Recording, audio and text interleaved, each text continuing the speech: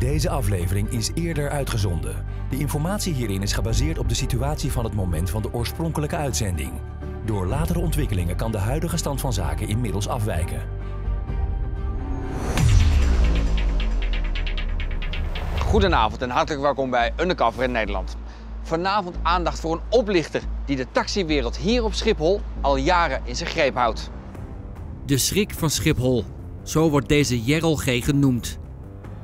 Een gewiekste oplichter die op de luchthaven al jaren slachtoffers maakt. En dan vooral in de taxiwereld. Chauffeurs kunnen zijn bloed wel drinken. Als we het Jerrel vinden, dan uh, snijden we hem in stukken en dan pleuren we hem op de Maasvlakte. Jerrel is de taxichauffeurs te slim af. Zodra hij heeft toegeslagen, duikt hij weer onder. Hij heeft veel slachtoffers onder ons gemaakt. Hij heeft eh, veel mensen belazerd. Goeie, harde, werkende taxichauffeur. Ik hoop dat deze persoon gewoon op een dag gewoon kan worden opgepakt. De crimineel gebruikt steeds weer nieuwe oplichtingstrucs. Ook buiten de taxiwereld op Schiphol. Hij is zo gewetenloos dat hij zelfs zijn eigen familie besteelt. Waaronder zijn bloedeigen zoon. Hij heeft mijn gegevens gebruikt en uh, op een gegeven moment, op een dag, een paar jaar later, stond de deurwaarder voor de deur.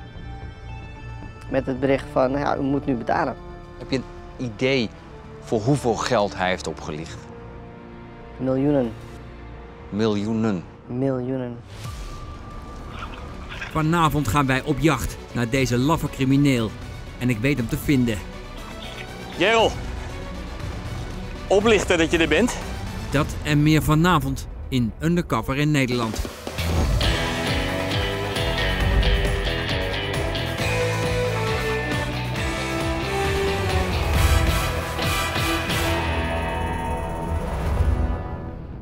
Jaarlijks vinden miljoenen reizigers de weg naar Schiphol, onze nationale luchthaven.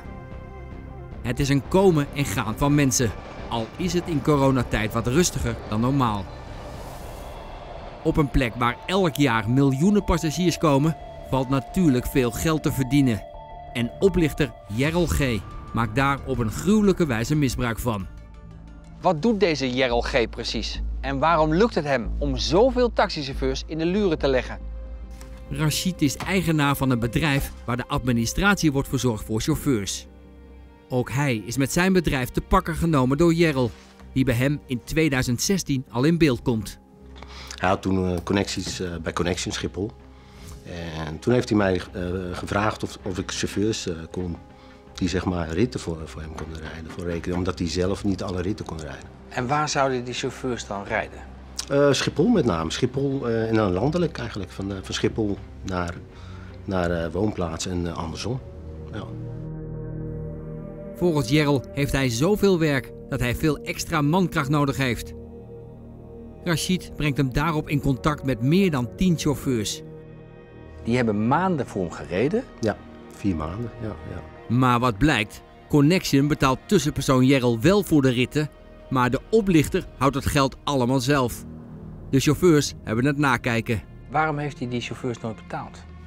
Ik denk dat het gewoon, ja, dat hij gewoon uh, ja, een slechte bedoeling had. Dat die, uh, die jongens gewoon wel oplicht vanaf, uh, vanaf dag één.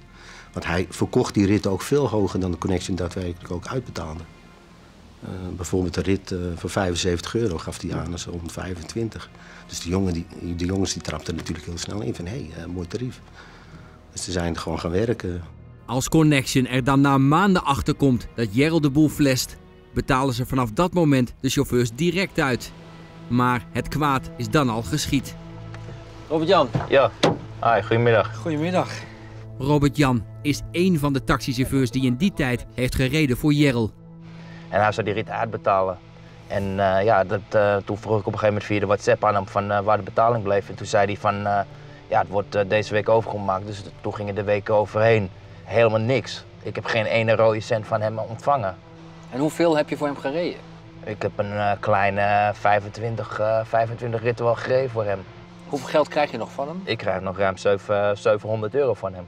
Er zijn uh, best wel wat chauffeurs die ook dupe van hem zijn geworden. Als die dan ook op een gegeven moment geen geld van hem krijgen en je er maar achteraan moet gaan en je hem nergens meer kan vinden in heel Nederland. Ja, dat is uh, wel, uh, heel erg, wel heel erg sneu, laat ik het zo zeggen. En als je dan met, met een smoesje komt dat hij kanker hebt en tegen een andere persoon zegt hij dat hij een blackout heeft gehad, ja, dat zijn twee verschillende verhalen. En ik vind niet dat je met zo'n ziekte eh, kan gaan schelden als je het niet hebt. Dat vind ik gewoon. En daar bleek gewoon niks van waar. Daar bleek gewoon niks van waar. De gedupeerde taxichauffeurs zijn behoorlijk aangeslagen en boos. Nu wilt u anoniem uw verhaal vertellen. Waarom is dat? Het is, het is eh, deels een beetje gezichtsverlies binnen de taxiwereld. JRLG heeft, heeft ons behoorlijk belazerd. U heeft ook zo'n anderhalve maand of zo voor hem gereden ongeveer. Ja, klopt. Dus met een hele goede verhaal en een hele slimme babbel heeft hij ons eigenlijk toch een beetje om het uh, tuintje geleid. Zit er nog wel een soort van wrok, boosheid? Of... Ja, absoluut. Want hij heeft veel slachtoffers onder ons gemaakt. Hij heeft veel mensen belazerd. Doordat Jerrel niets betaalde, kreeg Rashid veel problemen. We hebben zelfs bemiddeld in een, een bestelbus die hij kon huren. En die heeft hij ongeveer zo'n zes of acht weken gehuurd. Die heeft hij nooit betaald. Dus die jongens zijn ook toen heel boos uh, bij mij ook weer terechtgekomen. Van, uh, hè, uh, jij hebt Jeroen naar ons gestuurd, dus kom maar op met die centen. Maar ook de taxichauffeurs, die Rashid te goede trouw in contact had gebracht met Jerrel, komen uiteindelijk bij hem verhaal halen. Heb je daar last van gehad? Ja, ja nachtmerries en een hoop ellende. Politie bijgekomen ook. Ja, ja. Slaaploze nachten. Dat de emoties onder taxichauffeurs hoog zijn opgelopen, blijkt wel als ik de ex-vrouw van Jerrel krijg te spreken. Ook zij heeft te maken met slachtoffers die willen weten waar Jerrel is. Ze wil graag anoniem blijven en daarom spreek ik haar telefonisch. Die stonden bij mij aan de voordeur. Om te vragen waar, uh, waar Jerrel was? Uh, ja. Toen hij zeiden van ja, als we, als we het Jerrel vinden dan... Uh snijden we hem in stukken en dan pleuren we hem op de Maasvlakte. Dat hebben ze gezegd, die chauffeurs? En ja, toen heb ik wel de politie gebeld en gezegd van joh, de zus en zo is er aan de hand. Zijn ex-vrouw blijkt ook door hem belazerd te zijn. Ook zij is financieel door hem kapot gemaakt. Ik heb mijn handtekeningen vervalst.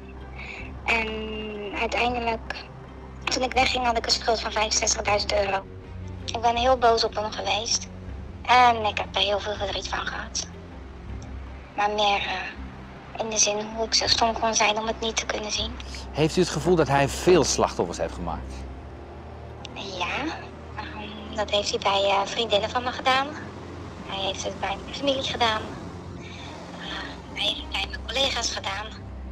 Dus er zijn veel, veel mensen, ja. Gaat deze Jerrel uit zichzelf stoppen met oplichting? Nee, nooit. Laat de mensen maar oppassen voor deze man. Hij kan heel mooi praten. Zo mooi praten dat je alles wat hij zegt gelooft. Niemand weet waar Jerrel zich ophoudt. Maar er is wel een adres bekend van zijn moeder. En er zijn vermoedens dat hij zich daar af en toe laat zien. Ik stuur daarom twee collega's naar het adres. Ze posten veel en lang, maar zien Jerrel helaas nooit. Na een tijdje besluiten ze aan te bellen.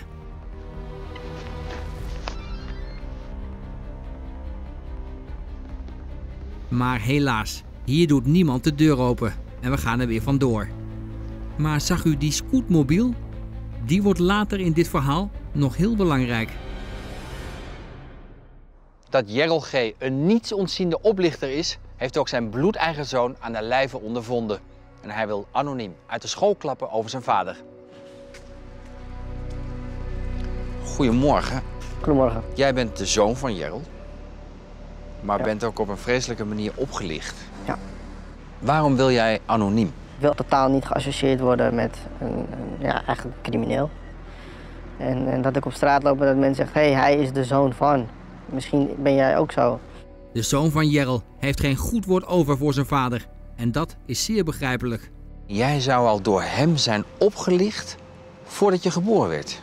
Klopt. Er is destijds een, een, een spaarrekening geopend Ehm, en daar is door uh, vrienden en kennissen van mijn moeder en familie uh, geld op gestort. Een spaarrekening voor jou? Een spaarrekening voor mij ten behoeve van mijn studie uh, in latere jaren. Um, en hij plukte daar gewoon geld vanaf om elke week weer met een nieuwe huurauto voor de deur te staan. En uiteindelijk heeft mijn moeder ervoor gekozen om met een handjevol spullen gewoon de deur uit te stappen en nooit meer terug te keren. En toen heb jij jouw vader lange tijd niet gezien en gesproken? correct. Maar als hij iets ouder wordt, zoekt Jerrel ineens toenadering. Nou, er kwamen allemaal mooie verhaaltjes, uh, waaronder dus het stukje van... Uh, ja, je bent mijn zoon en al die jaren heb ik niks voor je gedaan, dus nu wil ik het goed maken. Maar dan wordt duidelijk dat zijn vader niets geleerd heeft uit zijn verleden. Als hij met een mooie auto op de proppen komt voor zijn zoon, gaat het goed mis. Hij beloofde jou een auto? Ja. Wat voor auto was dat? Het was een, eh, een Chrysler, een uh, zilvergrijs en helemaal gloednieuw. En dat zou dan jouw auto worden? Dat zou mijn auto worden. Wat had hij daarvoor nodig? Mijn, uh, ja, eigenlijk mijn identiteitsgegevens. En ehm, dat heb ik hem ook gegeven. Wat heeft hij gedaan? Hij heeft mijn gegevens gebruikt, ehm, ja, niet voor de auto, maar voor andere dingen. Abonnementen, kredietverstrekkingen, apparatuur wat op, op afbetaling aangeschaft is. Apparatuur die ik ook nog nooit heb gezien en nog nooit in mijn handen heb gehad. nou, de abonnementen, die, ja, de prijzen liepen op. Van een paar honderd euro naar een paar duizend euro. En op een gegeven moment, op een dag, een paar jaar later, stond de deurwaarder voor de deur. Met het bericht van, ja, u moet nu betalen. En daar ga je dan. Hoeveel heeft je dat gekost? Ik weet het bedrag niet meer, maar het is, het is veel. Tienduizenden euro's? Ja. Wij doen onderzoek naar oplichter Jerrel G., de schrik van Schiphol. Hij licht de grote aantallen taxichauffeurs op. Maar niet alleen de taxiwereld werd slachtoffer. Ook zijn familie werd door Jerrel bestolen. Waaronder zijn inmiddels ex-vrouw en zijn eigen zoon. Hoeveel mensen heeft hij tot slachtoffer gemaakt? Te veel. Ik, uh, ik, ik, ik, wil niet, ik, kan, ik kan niet eens denken hoeveel mensen dat zullen zijn. Maar wij weten als familie zijn er nog niet eens alles. Terwijl het in de familie al behoorlijk veel is. Dat, dat kom je misschien op tien, tien personen al. Binnen de familie? Binnen de familie. Zijn eigen broers, zijn eigen moeder zelfs. Allebei zijn ex-vrouwen, maar dat gaat verder. Dat, dat, de, de, taxi is ook nog maar een klein stukje. We weten niet wat hij verder allemaal uitspookt en uitgespookt heeft. Jerrel is als taxioplichter berucht op Schiphol. Hij misbruikte eerder al zijn werkgever Connection en stak toen het geld dat de chauffeurs verdienden in eigen zak. Maar de jaren daarna liegt hij dat hij nog steeds veel taxiritten kan verdelen. Chauffeurs zouden bij hem veel geld kunnen verdienen. Hij beloofde ze een weekopbrengst van 2600 euro. En dat kon oplopen tot 3750 euro per week dus. Maar er zit een addertje onder het gras. Om toegang te krijgen tot de standplaats moesten de chauffeurs wel eerst geld betalen. Een soort borg die ze dan maanden later weer terug zouden krijgen. Nou, de ene chauffeur betaalde 2500 euro, de andere 1250 euro. Maar uiteindelijk kreeg niemand geld terug. En dit is de balie. Die speelt een belangrijke rol in de oplichting van Jerrel. Want alle passen, de Schipholpassen, die zouden de chauffeurs hier kunnen ophalen. Nou, er blijkt uiteindelijk helemaal niets van waar. Er zijn geen passen, er zijn geen ritten. Maar hij doet alsof en heel veel taxichauffeurs zijn erin getrapt. En Jerrel zegt nu ook te werken uit naam van het bedrijf van Rashid. Klopt inderdaad, ja. Hij gebruikt taxicopions, ja. Ik denk dat dit het enige wat, wat hij eigenlijk kan opgeven op dit moment, omdat hij ooit bij ons is aangesloten geweest. Ook heeft Jerrel de naam Schiphol Transfer Assistance misbruikt voor zijn oplichting. En als ik ze om een reactie vraag, bevestigen zij dat Jerrel G. niet voor hen werkt. Ze zijn geschrokken dat hun naam is misbruikt en overwegen nu stappen tegen hem te ondernemen. Heb je een idee voor hoeveel geld hij heeft opgelicht? Miljoenen. Miljoenen? Miljoenen. Doet het je nog veel pijn? Ergens wel. Maar ik duw het ook weg. Ik wil er geen pijn meer van, van voelen. Is hij nog steeds jouw vader? Nee. Al lang niet meer op papier is hij mijn vader. Maar hij heeft nooit wat verder voor mij betekend. Hij heeft nooit wat verder voor mij gedaan. Hij heeft nooit voor mij gestreden op de momenten dat het nodig was. Ik heb me eroverheen gezet. Met de hoofdgedachte dat ik, uh, als ik ooit kinderen krijg, dat ik niet zo zal zijn als een vader. Dat ik daadwerkelijk voor mijn kinderen zal strijden. Zijn er een hoop mensen in de taxiwereld op zoek naar hem? Ja, wel zeker. Nu heeft hij weer advertenties online staan. Ja. Maar hij gebruikt de naam Hans. Klopt. Hij neemt wel een risico door in die taxiwereld actief te blijven als oplichter. Klopt, ja. ja. Ik denk dat hij eh, niks anders weet, denk ik. Eh, uit zijn ervaring natuurlijk uit de taxiwereld. Kan, en, en, het is een goede babbelaar, hè? dus uh, hij weet ook waar hij het over heeft. Alleen ja, hij misbruikt het gewoon. Ja. Hij komt over als een betrouwbaar iemand. Zeker, ja. Ben je boos op hem? Intern ben ik boos. Maar ja, ik eh, kan hem niet vinden, dus ja, ik kan er niks aan doen. Ik eh, kan eh, bij de politie kan ik zeggen, oké, deze persoon zoek ik. Maar ja, die zegt ook van, we kunnen niks doen. We gaan proberen die Jerrel hard aan te pakken. Helemaal goed. Rij voorzichtig. Dank je. Om Jerrel op te sporen en te horen hoe deze oplichter precies te werk gaat, besluit ik een taxichauffeur in te zetten. De Haagse Willem Dorland is al lange tijd actief in het vak en wil graag zijn steentje bijdragen. We starten ons onderzoek al voor de corona-uitbraak. Een goedemiddag. Goedemiddag, Alberto. Leuk kennis te maken. Ja, van hetzelfde. Want je wil meewerken om een oplichter te pakken. Ja, Ook Willem heeft gezien dat er al flink voor Jerrel wordt gewaarschuwd in WhatsApp-groepen voor taxichauffeurs. Hij doet zich voor als Hans. als Hans doet hij zich voor, ja.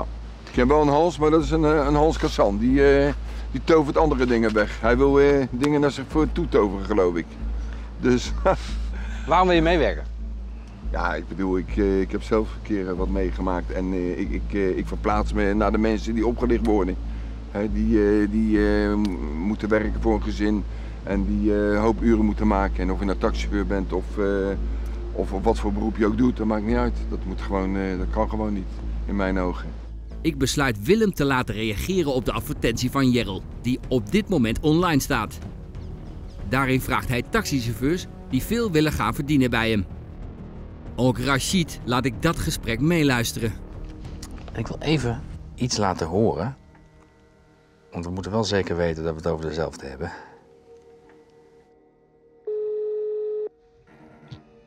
Hallo. Spreek met Hans? Ja? Dag Hans, hoi. Ik heb een eh, advertentie eh, gelezen waarin eh taxichauffeur gevraagd wordt voor extra inkomsten. Oké. Dit is het 100%. Nou, 1000% dat is de, heer uh, Gerald. Hij noemt zich nu ook weer Hans. Ja, ja, dat is eh, zijn alias op de marktplaats blijkbaar weer. Ja, ja. En als je dan ziet wat hij Hij komt niet met aanbiedt, zijn eigen naam. Ja, ja, ja. Dan is zoekt hij drie ondernemers die elk vier wagens mogen Ja. aanbrengen voor een bestaand contract. En een contract dat eind oktober start. Gegarandeerde omzet van minimaal, nu komt hij, 2600 euro per week per auto. Dat is heel veel geld. Ja, dat, eh, zo. Dat Klinkt toch Dat niet? bestaat op dit moment niet meer. Nee. Nee, ik ben wel eh, benieuwd. Ik heb interesse voor extra inkomsten. Dus eh, wat houdt het precies in? Het is zo, we hebben een contract op Schiphol. Jerrel, die zich op dit moment Hans noemt, beweert dat Willem gegarandeerd 2600 euro per week gaat verdienen als hij via hem ritjes van en naar Schiphol gaat rijden. Er zit wel een maar achter. Ik ben 15 jaar geleden ben ik ermee begonnen. Ik heb een waarborg toen moeten betalen. Dat wilden ze ook weer. Dat bestaat niet. Waarom zouden ze dat eisen? En hij zegt dat hij dan een contract heeft om bij Schiphol te mogen rijden. Nee, nee. Je kan niet zomaar met Schiphol een contract afsluiten. Er moet een vervoerder tussen zitten. Eh, of een connection, of een, noem maar op, een, ander soort bemiddelaar. Ja. En gezien zijn verleden, want hij is natuurlijk bekend daar, ja, is dit natuurlijk ook een compleet lulverhaal. is het ook. En waarom zou wel. het onder een andere naam doen? Kan maar één ding betekenen. Ja, precies. Ja, ja. ja, hij probeert gewoon mensen gewoon letterlijk en figuurlijk gewoon te op te lichten. Gewoon. Ja. Willem moet eerst 1250 euro borg betalen om gebruik te kunnen maken van de standplaats op Schiphol. Jerrel doet alsof het allemaal professioneel is georganiseerd. Eh, zodra je de waarborg betaalt, dan krijg ik een, een berichtje of een seintje. Je wordt in het systeem gezet en dan kan je eventueel vanavond of vannacht al je aan rijden. En dan krijg je, ook van mij, krijg je ook van mij een document getekend dat jij je waarborg betaald hebt. Maar ik werk met een eh, juristenkantoor. Ik zie een paar keer lachen. Ja, een juristenkantoor. Ja, ik heb dat mailtje langs zien komen van een zogenaamde jurist. Maar dat zag er gewoon heel amateuristisch uit. Dus gewoon, dat heeft hij gewoon zelf geschreven. 100 procent. Ja. Eh, ik bedoel, het geld is gewoon direct weg. Gewoon klaar. Gewoon gebakken lucht. Oh ja, en jullie krijgen ook pasjes van Schiphol om op de A-baan te komen. Wij noemen het de A-baan. Dus zeg het maar wat je wil. Als jij daar gewoon eh, inderdaad eens vinger in de pap hebt, dat je gewoon eh, mensen aan kan brengen, ben ik wel geïnteresseerd. Wanneer wil je dan afspreken? Donderdag overdag. Ja, dat is goed.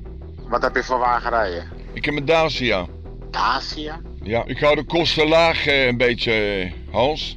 Snap je? Ja. Daarvoor kan ik nog een beetje overleven, maar ik zoek wel extra inkomsten, snap je? Goed, Hans. Oké. Als er wat is, kan je me bellen. Ja, doe ik. Oké. Oké, goed man. Jo. Hoi hoi. Het wordt tijd om hem aan te pakken. Ja, ik hoop het. Ik hoop het. Ik hoop dat hij eh, echt eh, keihard wordt aangepakt. Ja. Mocht Jerrel komen opdagen, dan heeft zijn zoon nog wel een boodschap voor hem. Wat zou je tegen je vader willen zeggen? Stop. Hou mij op. Stop met het veroorzaken van leed. Is het iemand die gaat stoppen met oplichting? Nee, hij weet niet anders.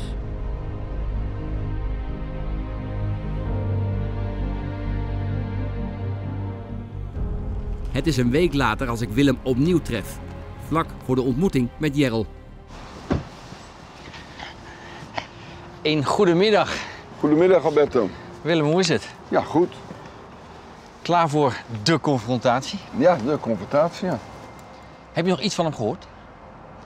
Eh, nou ja, dat hij dus eh, gewoon zou komen. En dat, eh, volgens Daar lijkt het mail. nog steeds op. Daar lijkt het nog steeds op, ja. Dus eh, nu even afwachten. In de tussentijd heeft Willem mails gekregen van de zogenaamde jurist van Jerrel. Waarin wordt beloofd dat hij toegang krijgt tot Schiphol als hij de eenmalige borg betaalt. Mijn naam is Edwin de Bruin, ik ben jurist. Ik sta vele bedrijven en particulieren bij. Ik sta ze ook bij zodat er nooit conflicten ontstaan. Hans heeft u benaderd om te mogen rijden op Schiphol en Nederland. Ik maak een hoop facturen op en je kan melden dat 2600 euro per week per auto gegarandeerd is. En kan meer worden. Ja, Dus ja, de ja. jurist garandeert dat in een mailtje. Dit is toch geen tekst van een jurist, dit is hij zelf. Ja, Nou, dan heeft hij hier nog wat ritten meegestuurd. ja. Van Capelle naar Schiphol, van Uitgeest naar Schiphol, Eindhoven Schiphol. Nou, mooie ritten. Ja. Nou, Het, dit stuurt eh, hij nog. Ja. Fantasy World. Hoewel we een afspraak hebben met Jerrel, wordt dit plotsklaps verstoord. Willem krijgt een appje waarin Jerrel zegt niet meer te komen. Balen. Tja. We proberen hem nog over te halen, maar het wordt al snel duidelijk wat Jerrel zijn daadwerkelijke intenties zijn. Als Willem zijn appjes voorleest. Je moet het overmaken. Ter bescherming van jezelf, ja hier. En dan heb je ook bewijs van betaling. Dat is alles. Ja. Ja. Of je even geld wil overmaken. Ja, maar ja, is het van een de poot, joh. Wat is dat voor een idioot? Denk even na, maak je besluit. Neem contact met de boekhouder. Ja, dat is diegene waarschijnlijk die, eh, die hem gemaild heeft. Maar dat was een jurist. Was Ja, niet eens, ja, was ja. niet eens een boekhouder. Nee. Daarmee verklapt hij zichzelf. Daar, daarmee verklapt hij zichzelf, ja. Dan moeten we een andere manier gaan vinden om hem eh, in de val te laten lopen. Gaat lastig worden. Maar toch ga ik mijn uiterste best doen Jerrel G te vinden. De zoon van Jerrel weet dat zijn vader zelfs zijn eigen moeder heeft opgelicht. Zijn moeder, en dat is mijn oma, die heeft eh, hem geholpen elke keer. En, en heeft hem, wat hij ook gedaan heeft, nooit in de steek gelaten. Hij is gaan sjoemelen met haar spullen, met haar, met haar verzekering en dergelijke. Hij heeft het haar heel moeilijk gemaakt. De ex-vrouw van Jerrel bevestigt dat. Ze heeft mij toen twee jaar geleden gebeld. Ze zegt, weet jij waar het Gerald is? Ik zeg, nee, dat weet ik niet. Ze zegt, ja, want hij heeft mijn huur teruggeboekt en uh, heeft hij teruggeboekt. En ja, nog heel veel andere dingen had hij gedaan. Zoals ik het goed heb begrepen, is dat ze kant aan haar eigen huisje uitgezet zou worden, omdat hij dat niet betaald heeft en alles teruggeboekt heeft. Dus eigenlijk heeft hij ook gewoon zijn moeder bestolen. Hij heeft zijn moeder bestolen, ja, dat klopt. Is het belangrijk om hem aan te pakken? Zeker, ja. ja. Want er zijn natuurlijk heel veel startende ondernemers, hè, taxichauffeurs, die de laatste tijd ja, natuurlijk best wel moeilijk hebben om eigenlijk een brood te verdienen. Ja, en ja, dat, dat misbruikt hij gewoon. Die jongens worden gewoon keihard opgelicht. Ja. Dat is het mooiste als, hij de, als deze meneer Jerel G. uit deze mooie branche wordt verwijderd. Mag niet meer in de taxiwereld Hij mag zijn. absoluut niet. Nee, hij hoort daar niet thuis. Absoluut niet. Ik hoop dat deze persoon gewoon op een dag gewoon kan worden opgepakt. En eh, dat ik gewoon eh, mijn deel, wat ik heb gereden, dat ik dat deel ook gewoon krijg. Wat zou met je vader moeten gebeuren? Achter slot en grendel. Op zijn minst. Jarenlang zijn de slachtoffers van Jerrel G naar hem op zoek. En ook de politie heeft geen idee waar hij uithangt. En ook wij zijn al lang met hem bezig. Maar er lijkt nu een doorbraak te zijn. Want op zijn Marktplaats-account zien wij een nieuwe advertentie waarin hij een scootmobiel te koop aanbiedt. Het is tijd voor de confrontatie met die oplichter dus in de taxiwereld.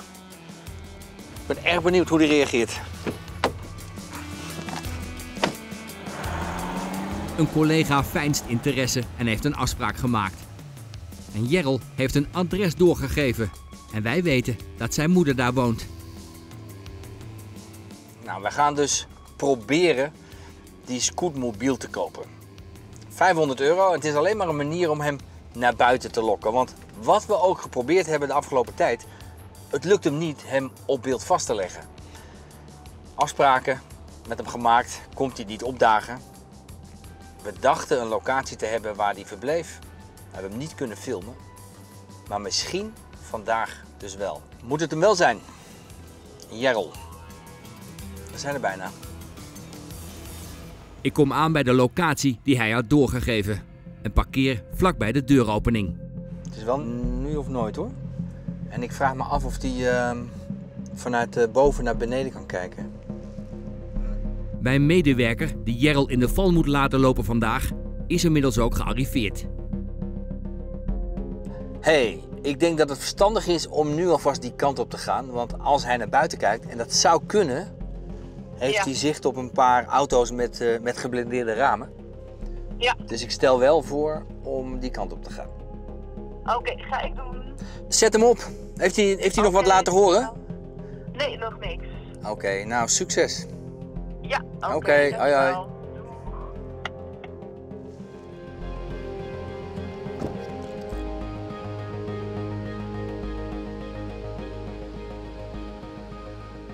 Een enorme zoektocht. Meer dan een jaar denk ik met, we met hem bezig. Dus de taxiwereld zoekt hem, maar hij laat zich nergens meer zien. Hij heeft ook geen vaste woon- of verblijfplaats. Maar dit is een huis waar hij af en toe komt. Zijn moeder zou daar wonen. Dus waarschijnlijk dat hij de scootmobiel van zijn moeder verkoopt. Maar zeker weten doen we het niet. Nou, mijn collega loopt richting het huis. De afgelopen dagen niets meer gehoord. Na het maken van de afspraak is het helemaal stil, dus duimen, duimen dat hij daadwerkelijk binnen zit. We hebben hem ook niet kunnen spreken aan de telefoon, het is allemaal via, via WhatsApp. Nou, kom op. Wees thuis, wees thuis.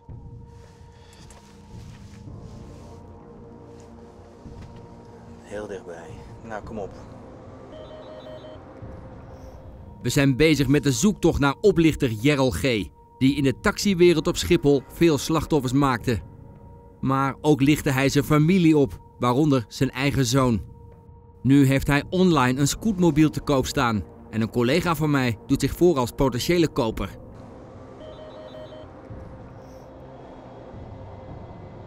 Er lijkt niemand thuis. En dus belt mijn collega de verkoper.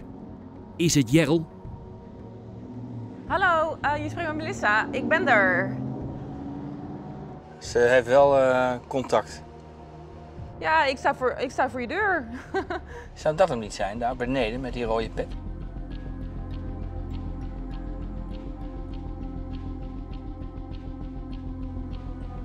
De man laat weten dat de scootmobiel is gestolen en dat de afspraak niet doorgaat. Oh, had me even gebeld. en dan ben ik helemaal hier. Ja, jammer. Even kijken wanneer, als hij ophangt, ja? Doei. Kijk dan naar de deur. Daarom. Hij blijft bellen, helaas.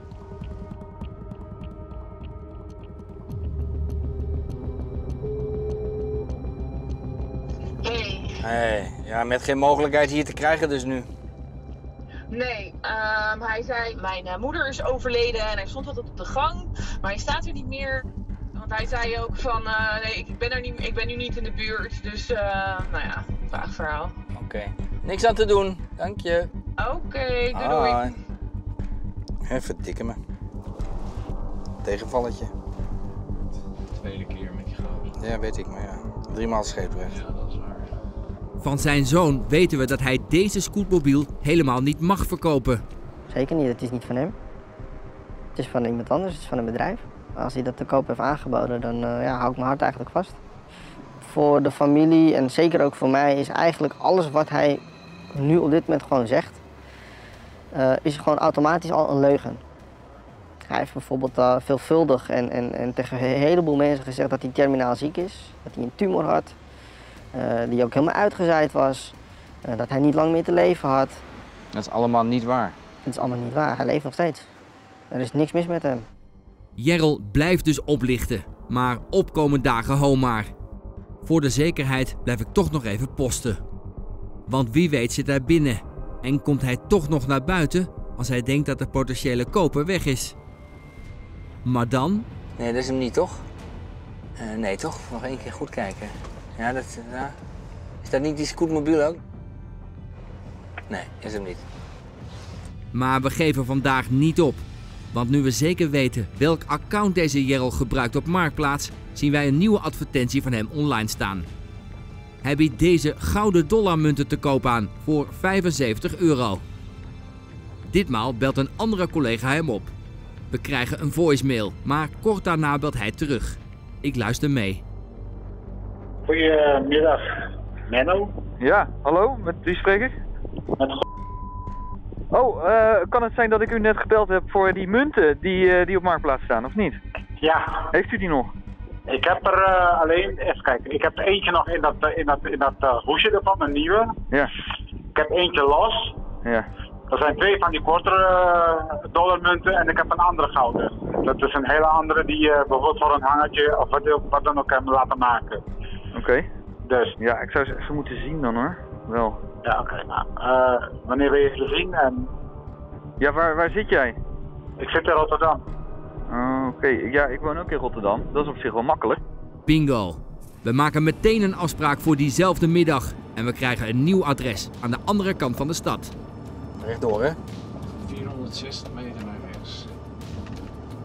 Is dit hem niet? Kijk even, kijk even links, kijk even links. Kijk even links.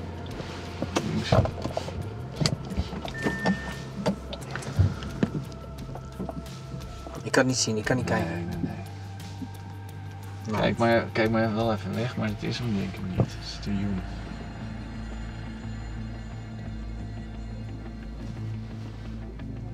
Toch? En mijn collega komt er zo meteen aan en dan probeert hij hem daar bij de tafeltje te krijgen. En ik heb dus geen idee wat ik nog moet geloven van deze Jerel.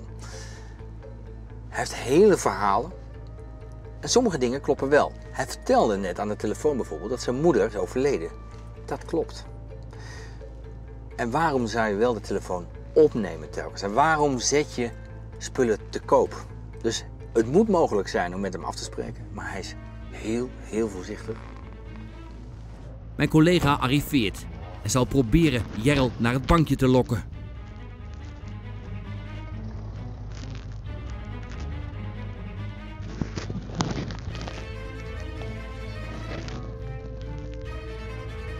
Als hij eenmaal zit, belt hij opnieuw met Jerrel.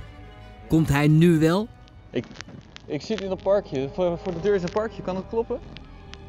Ik zit aan een tafeltje hier. Zit wel even lekker. Kom je hierheen? Oké, tot zo. Hoi. Komt hierheen. Top. Of het waar is, weet ik niet. We hebben een man in beeld en ik ben er zeker van dat dit Jerrel is. Ik bel meteen de politie. Hey, we hebben hem nu in beeld. Hij komt daar, hij komt daar aan, aan toegelopen. Hij komt naar jullie toegelopen, Ja. aan de Rozenstraat. Ja. Oké. Nu, nu, Dan, nu. eh, Jerrel loopt zo dicht langs de auto dat hij mogelijk het telefoongesprek kan horen. Dan komen wij richting jullie kant op. Ja, nu, nu want hij, hij loopt er nu naartoe. Ik kan hem niet lang aan de praat houden. Ik kan hem niet lang aan de praat houden. Oké, nee, wij, wij, gaan, wij komen nu jouw kant op. Ja, nou, dat was leeg. Ik denk, ik ga even lekker hier zitten. Jeetje. Hij is gewoon gekomen, joh. Echt waar? Ik zou je hand geven normaal, maar ik doe eventjes eh, vanwege... Ja? De trein die kwam met een boog hierachter, hier stonden huizen. Ja? En hij reed hierachter. Dat meen je niet? Ja. Mijn collega fijnst veel interesse en houdt hem zo lang mogelijk aan de praat. En net ook nog eh, vakantiewerk gedaan. Dit, dit, deze silo's bedoel je? Ja, dit, nee, hierachter. Het is achter die bomen. Waar zit, waar zit het dan? Zie, zie ik dat hier? Hij lokt de crimineel mee en laat hem met het gezicht de andere kant op kijken. Dit, net na dat zanddingetje hier. Ja? Hij heeft hier een school. Als de politie zo komt, heeft hij dat hopelijk niet meteen door. We hebben zojuist horen gekregen dat hij staat gesignaleerd. De politie is onderweg. En dat betekent dat hij kan worden aangehouden. Ik heb hier aan school gestaan. Dit is mijn, mijn, eh, mijn lagere school geweest. Je basisschool geweest? Echt? Ondertussen blijft Jerel maar praten en let hij verder niet op. Ik, zeg, ik zeg het eerlijk, ik moet niks van Turken en Marokkanen hebben. Ja. Toen had je hier geen één. Nee? Maar het is wel een, echt een aanbeeld nog steeds van Rotterdam, deze brug, Ze toch? willen, hem, ze, willen hem, ze willen hem niet weghalen. En als we zo ongeveer alles over de buurt weten, komt de politie gelukkig om de hoek rijden. Ze zit, ze zit in het midden. Ze zit in het midden. Ze zit in het midden.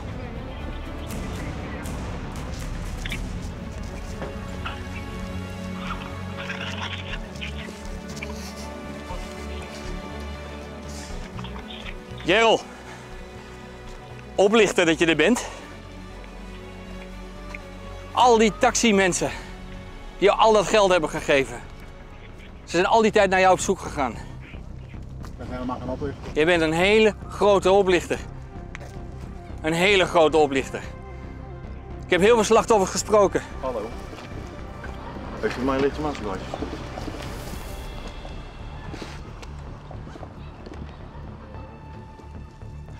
Allemaal ritten naar Schiphol, hè? Klopt helemaal niks van, man. Allemaal uit je duim gezogen.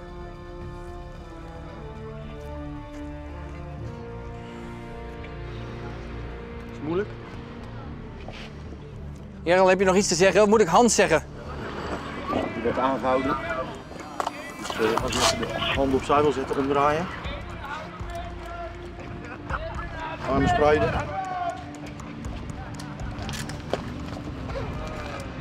Op eh, aangehouden voor zaken oplichting. Je hebt recht op een advocaat.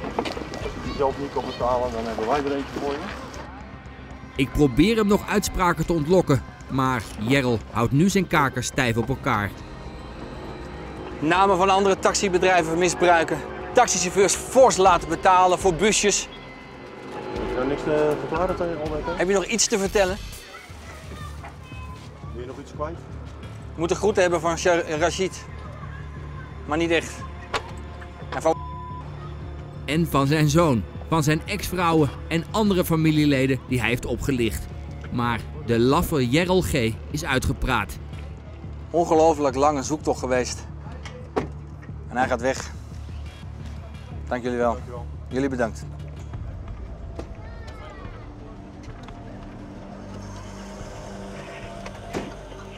Daar gaat hij.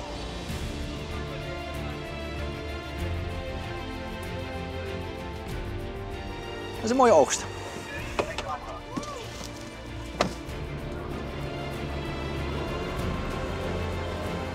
Wat een actie, wat een actie. Het begon met een scootmobiel die we zouden kopen. Nou, die afspraak ging niet door. Toen goudstukken.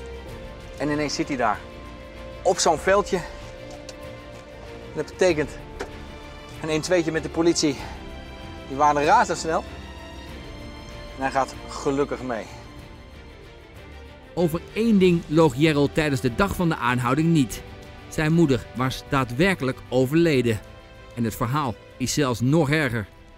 De dag van de aanhouding hadden wij een kerkdienst eh, ter ere van mijn oma. Hij ging weg en hij zei, ik kom er zo aan, ik moet nog even wat doen. Dus tijdens de rouwdienst van jouw oma, van zijn moeder, ging hij weg omdat hij dacht een paar centen te verdienen. Ik laat de beelden zien aan Rashid, die al jaren hoopt dat Jerel G. kan worden aangehouden. Jerel, oplichter dat je er bent. Al die taximensen die al dat geld hebben gegeven. Ze zijn al die tijd naar jou op zoek gegaan. Allemaal ritten naar Schiphol, hè? Klopt helemaal niks van, man. Allemaal uit je duim gezogen. Jerel, heb je nog iets te zeggen? Of moet ik Hans zeggen? Heb je nog iets te vertellen? Je moet de groeten hebben van Rashid. Maar niet echt. Dat is een mooie oogst. Precies. Dat is het. Mooi, mooi. Ik denk dat eh, heel veel taxichauffeurs blij zullen zijn als ze die beelden zien. Eh, ik weet dat, ja, dat heel veel chauffeurs in Schiphol eh, uit schaamte misschien niet in beeld zouden komen, maar ik kan wel zeker 100% zeggen dat ze heel blij zullen zijn als ze deze beelden zien. Een stukje gerechtigheid eh, eindelijk, na drie jaar. Want hij heeft echt heel veel slachtoffers gemaakt eh, rondom Schiphol. Ja, echt eh, enorm. Heel blij om te zien. Ja. Ging mee naar het bureau voor verhoor. En zodra meer duidelijk is over zijn vervolging of een rechtszaak, zal ik dat bekendmaken via mijn Instagram-account alberto.stegeman. Tot zover deze laatste aflevering van dit seizoen. Maar Undercover in Nederland komt zeker terug. En uw tips zijn erbij meer dan welkom. U kunt dat mailen naar redactie.undercoverinnederland.nl. En voor vanavond bedankt voor het kijken en heel graag tot de volgende keer.